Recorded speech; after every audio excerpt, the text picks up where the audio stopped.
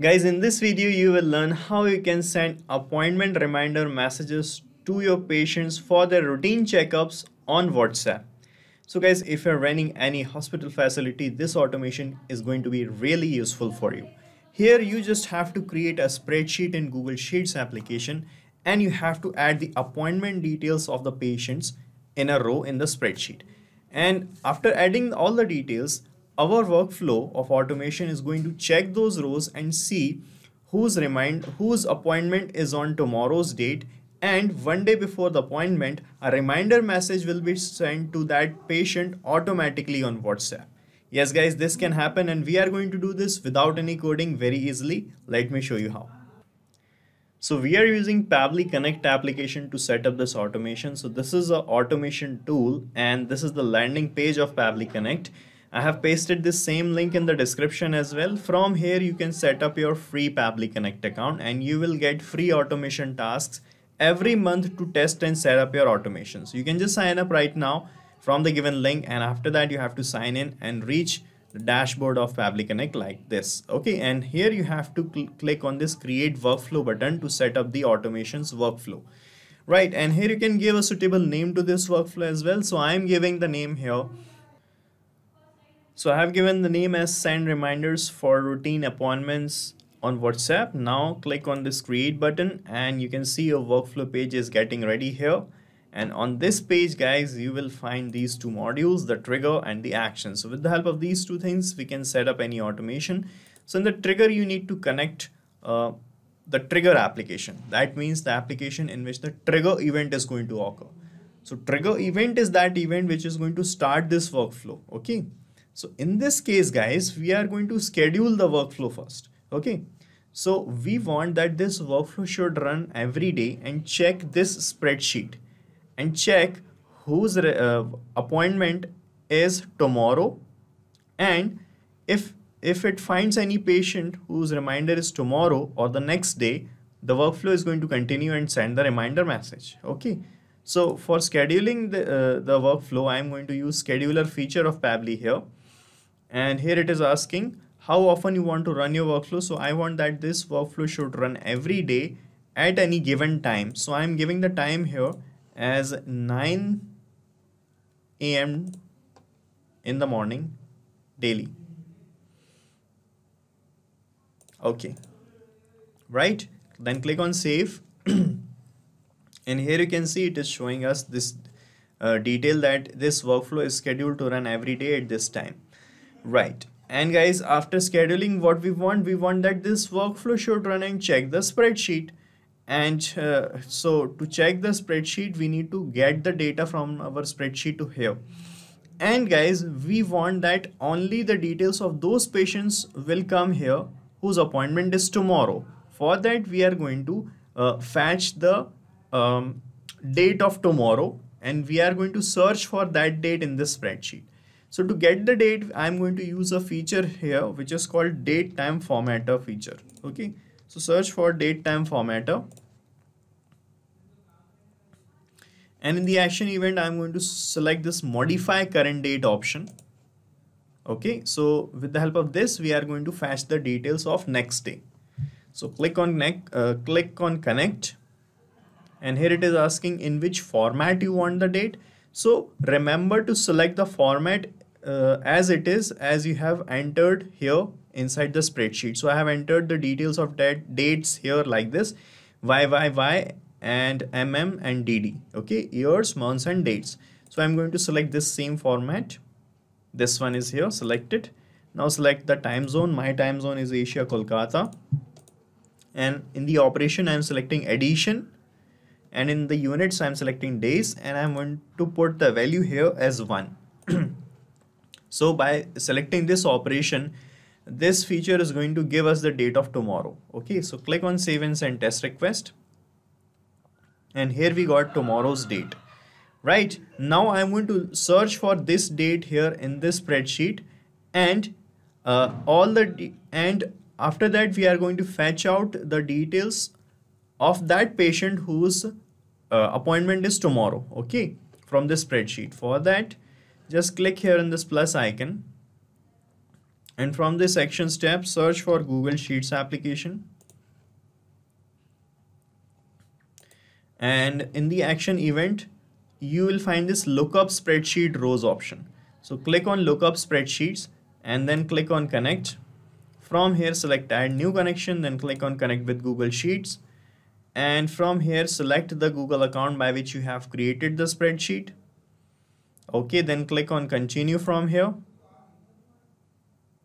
All right and you can see the authorization is successful. And we are connected here. And here it is asking to select the spreadsheet's name. So here is my spreadsheet. The name is routine checkup. So select this name from this list. Here you can see routine checkup is here select it and then select the sheets name. So my sheets name is this sheet 1 it is auto automatically selected here. And here it is asking the lookup column. So where you want to search for any value you have to put the column's name here. So I want to search for a uh, for a particular date in this C column in the appointment date column. So I'm going to put C here. C okay and in the lookup value I'm going to map this date that I have received here. So this is tomorrow's date and I'm going to map this label here. Just click here and it will show you the previous steps here in the drop down. And from the second step map the date. So when you map a label here every time this workflow is going to execute the label is going to change according to this uh, previous feature and will give you the days of next day. Okay? And it will be searched in this spreadsheet. Okay that's why we map the date here. And here uh, you can select true option or false. If you want to include headers in the response so i'm making it true. And here it is asking to sort value. That means if you want to search for the values from the top or from the bottom i'm selecting top here. So click on save and send test request. And uh, the details of those patients whose appointments are tomorrow will be fetched here like this. You can see it is showing us the details of a patient and the value is 22 you can see. I have mapped this date 22 10 2022 and it has searched for the same date. And according to this date the details of uh, patient is also arrived here. The date is here the patient's detail is here. The date is here the patient's detail is here. And these there are three patients of uh, for, for tomorrow appointment okay? But guys we got the details of all the patients together but we want to send the reminder messages one by one to each and every patient whose appointment is tomorrow. So for that we need to uh, capture the data here in a different format so that we can segregate the data one by one with another feature of Pabbly which is called iterator. So to connect iterator in the next step you have to map this toggle button to off simple response button to off then click on save and send test request and fetch the data in array format. Now you can see guys, we, con we got this response result label in which we got the data in this array format. Okay. Now we can separate the data with the help of iterator. Just click here on this plus icon and from here search for iterator feature. Here it is selected and here it is asking to choose the array. So uh, just click here and the previous steps will appear here and from here map this response result label and then click on save and send test request button. And here you can see the data got separated and it has started showing the details of the first patient from the, in the spreadsheet whose appointment is tomorrow. Okay so this is the name of the patient this is the number this is the date and this is the timing. So you can check here this was our first patient okay 10 to 11 a.m so this is how it is going to work every time starting from the first patient, then second, then third, and so on. All right. So now we got the data. Now let's send a message to this patient and to send the message, just click here on this plus icon. And we are going to send this message on WhatsApp to the patient. And to connect with WhatsApp here, we need to have the access of WhatsApp's API or application programming interface. And to get that access, we are going to use WhatsApp's Cloud API platform. Now to connect with Cloud API here, first you have to configure your uh, Cloud API setup with your WhatsApp number. and to know how to do that you can watch the video from the description we have created a dedicated video on cloud api setup configuration okay and after that you can search for whatsapp cloud api here and it will appear here you just have to select it and then select the action event as send template message. Then click on connect. And if you're making the connection with cloud api for the very first time select add new connection option. Here you can give a name to this connection as well. And here you have to fill the permanent access token of your cloud API. Here you have to fill the phone number ID and the business account ID details. So guys, if you want to know more about these things and making the connections, you can just click here on this here text written in blue from this help text and you will reach the forum page here. This is Pabbly's forum and here you will find these two videos first. First video is for setting up the cloud API inside Pabbly Connect Second is for generating the permanent access token. And then we have written instructions also along with screenshots to make you educate about the connections of Cloud API, right?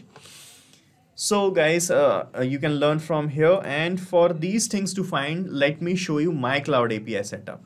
So this is a Meta for Developers uh, section and I'm under WhatsApp's getting started page. And here you can see uh, I have this temporary access token here. So first they gave you temporary tokens, but these tokens expires in 24 hours. So you need to generate a permanent token. And you can watch the video from this forum page or from the description on how to generate the token and generate it. And after that, you have to paste the token here in this field.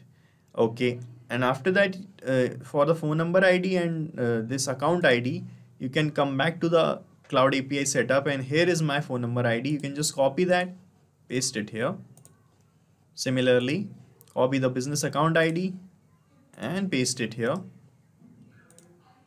okay and after filling all the things just click on save and you will be connected with the cloud API and this connection that you're making here is going to be saved in your account. So if you want to make the connection again in a different workflow or in the same workflow with WhatsApp you can use your saved connections. For that you just have to uh, select this existing connection option here. And uh, you can choose your saved connections by selecting it from here. It will this select connections option will show you the list of all the saved connections that you have.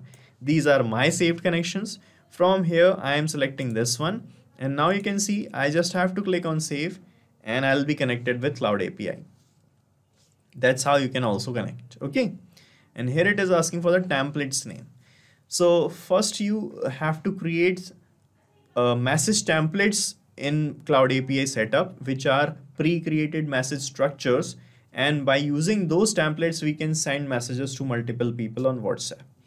And for this purpose, guys, I have already created a template. Let me show you that. This is my message template named as appointment reminder. And here you can see the preview of the message. This is how the message is going to look like when I'm going to use this template it is saying hi Roger Binney this is a just this is just a sample name your appointment for full body checkup is held on this date between this time with this doctor please come on time so you can also create such templates guys. And if you want to know how to create such a template you can watch the video from the description. And in these templates guys you can see here in the body box of the message uh, template we have this one in double curly braces after high. Then we have two three four and five. So these placeholders are called body fields of the uh, message template. This means uh, with the help of these body fields we can change a few things with every new message. Like the name of the patient the appointment date the appointment timing the doctor's name and everything and so on. So uh, you can uh, learn from the descriptions video how to create such a template. And after that you have to select the template's name from here. So my template's name is uh, appointment reminder. Okay here is an appointment reminder. All right. And after that language code and the template id will be auto populated and here it will ask for the recipient's mobile number. So here you need to uh, place the WhatsApp number of the patient. And you you will find the patient's details from this iterator step like this. So from this iterator only you can map the patient's details. So in the first uh, field. Just click here and from this iterator map the whatsapp number like this. Then it is asking for the body fields. So guys to change the values of these body fields dynamically with every new message you need to map the values of these body fields inside the workflow. So let us map the data. So first body field is for the name of the customer or sorry the patient second body field is for the purpose of uh, appointment. So i'm putting here as routine checkup. So you can put the values manually as well. But the things that you are putting manually are going to remain the same. Okay? So if you want to uh, put uh, dynamic things here you need to map the values. But currently I do not have the data about the purpose of the appointment. So I'm putting it manually just to show you the demo okay but when in real time you are going to receive the appointment details you also mention here the reason for appointment. So you can map the data from there. Okay. In the third body field what we have? The date of appointment. You will find the date from the iterator. This is the appointment date. And you will find the timing of the appointment from the iterator only. Doctor's name you can put the uh, I am putting the doctor's name manually right now okay you can put uh, you can map it also if you have the data. Uh, so I have put a few things manually which are going to be static and these are the things which are going to change with every new message. The labels I have mapped okay? Now let us check the connection with WhatsApp by clicking on save and send test request button and a WhatsApp message a test message will be sent to this number. So this is actually not a real number to show you the demo I'm going to put my WhatsApp number here and then I'll click on save and send test request button and I'll show you the message so guys I have clicked on save and send test request and this is the message I have received you can see on my WhatsApp and the message is this Hi dummy name your appointment for routine checkup is held on this date between this 10 to 11 a.m. with Dr. Pabbly and from Pabbly team. So you can see here guys in place of the body fields the data got placed automatically. Here in place of body fields the data got placed here like this because I have mapped the data here in the workflow. So that's how it is going to work guys. So we are done setting up this automation and you have to set up this automation only once. After that you don't have to do anything manually in the workflow.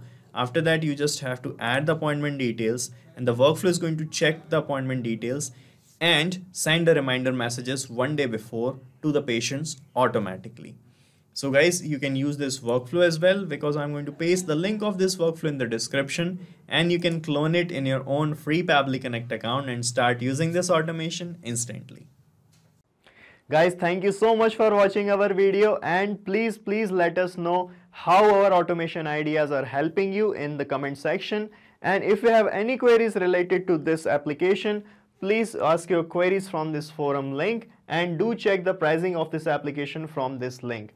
And guys we are open to ideas. If you want us that we should make videos on other aspects of your business please do let us know in the comment section. And if you like our work please subscribe to our channel